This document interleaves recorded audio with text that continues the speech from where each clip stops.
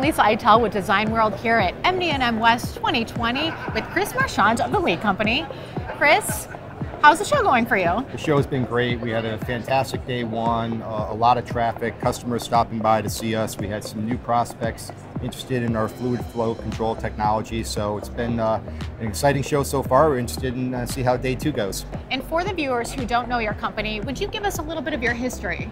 Sure. Founded in 1948, the Lee Company specializes in the design, development, and manufacturing of fluid flow control technology used in a wide range of different products across different markets such as aerospace, oil tools, space systems, medical and scientific instruments, automotive, and industrial. And what are the kind of products that you offer? At the show anyways, we're showcasing a number of different products that can be used in medical and scientific applications. Let's start with our control or solenoid valve product lines, which is made up of control valves. These valves are used to flow air, gas, or mild liquids. We also offer dispense valves, which actually are high-speed dispensing valves used to control tiny droplets of fluid. And then we also have a wide range of isolation type valves, both in diaphragm and hinge tube type and those are used in a lot of aggressive media type of applications. Together with our solenoid valves, we have a complete line of dispense pumps, both fixed volume and variable volume, together with other miscellaneous components such as check valves, relief valves, safety screens, and precision calibrated orifices.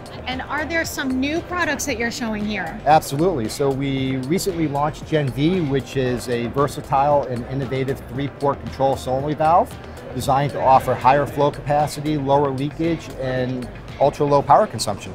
So what sets that Gen V apart from competitive offerings? So Gen V challenges current fluid flow technologies by offering design engineers the flexibility of using a miniature, low power solenoid valve to meet the system level flow rate requirements. It was designed to offer application versatility, unmatched reliability at an economical price point.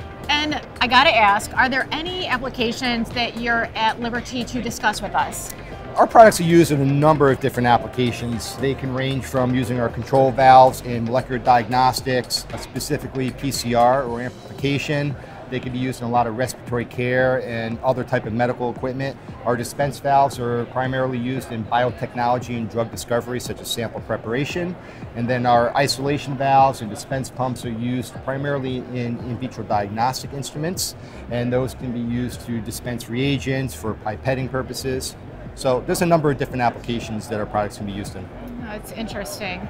Are there any trends that you're seeing in these industries and applications? Yeah, so we're continuing to see a collaboration between pharmaceutical companies and instrument manufacturers. Companion diagnostics is really leading the way towards personalized medicine. So in point of care settings, a lot of instruments need to be smaller, user friendly, and more reliable to minimize maintenance. And then in portable instruments, they need to be comprised of lower power and smaller components used to save battery. Yeah, efficiency and miniaturization, we see that too. Where can our viewers get more information from the Lee Company? So they can visit our website at www.theleeco.com. Thank you so much, Chris, thank and thank you. you guys for watching.